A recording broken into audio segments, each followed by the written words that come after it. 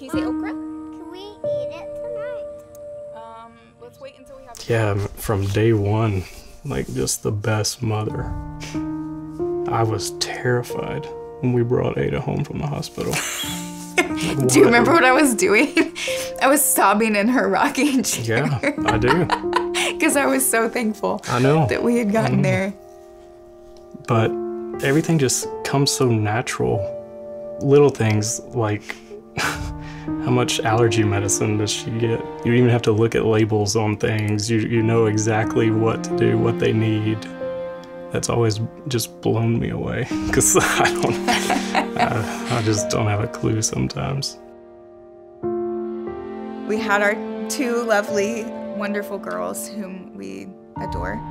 And my heart was kind of like, one more.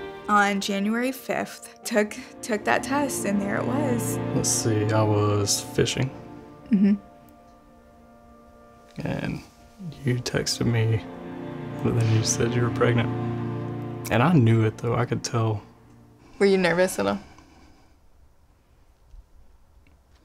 No, I don't think so. I didn't think it would take the turn that it did. And then on the on February 29th, a day that doesn't even is not even supposed to be on the calendar. Doesn't deserve a calendar day. yeah. That was a rough day. we go in for it was supposed to be 12 weeks and prior to that appointment i had this internal feeling that something was wrong we had seen the baby's heart um, the doctor even told us yeah there's like a 1% chance of, of loss now so i was having another ultrasound and as soon as the picture came on the screen i knew something was wrong there was just this stillness on the screen.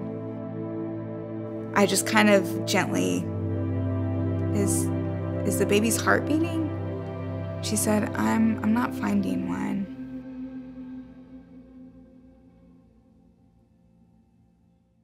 I thought you handled this situation just as good as any mother possibly could. Because I'm not sure that there's anything worse, um, mother or father, to, to lose a child. Um, No matter when you lose them. right. Yeah.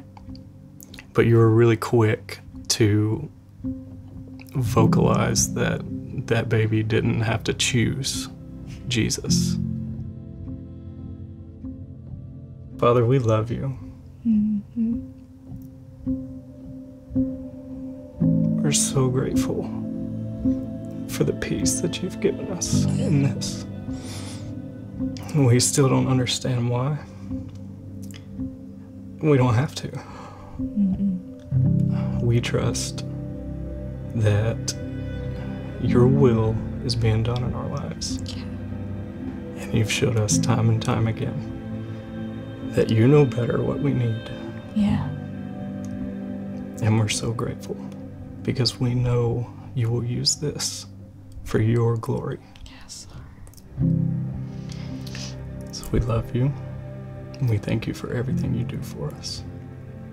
Most of all, we thank you for sending your son die on that cross for our sins so that we all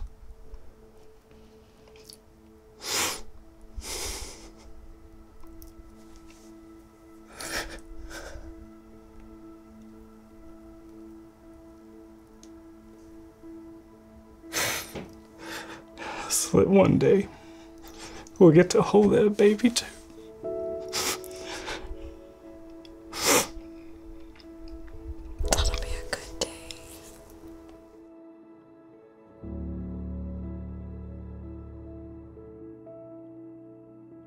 The next day, after much prayer and tears, we were working in our garden. I told Clay, let's do something today to get our minds off of it, you know, to try to start to step forward.